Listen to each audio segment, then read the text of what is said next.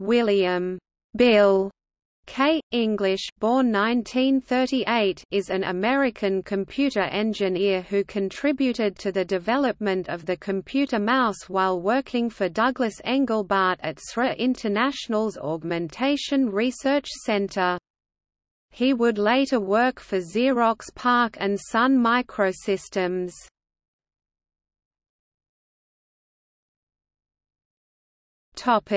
Career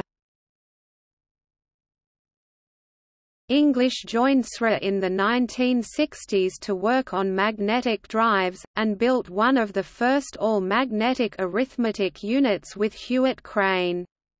In 1964, he was the first person to join Douglas Engelbart's lab, the Augmentation Research Center. He and Douglas Engelbart share credit for creating the first computer mouse in 1963. English built the initial prototype, and was its first user, based on Engelbart's notes.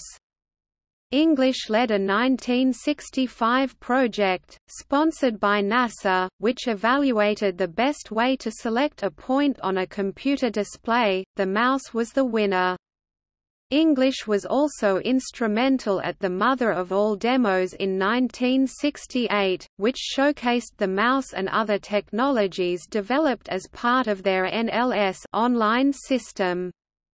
In particular, English figured out how to connect a terminal in the San Francisco Civic Auditorium to the host computer at SRI, and also transmitted audio and video between the locations. He left SRI in 1971 and went to Xerox PARC, where he managed the Office Systems Research Group. While working at PARC, English developed a ball mouse, in which a ball replaced the original set of wheels. It worked similar to a movable ball-based mouse device called Rollkugel, which had been developed by Telefunken, Germany, and was offered since 1968 as input device for their computers.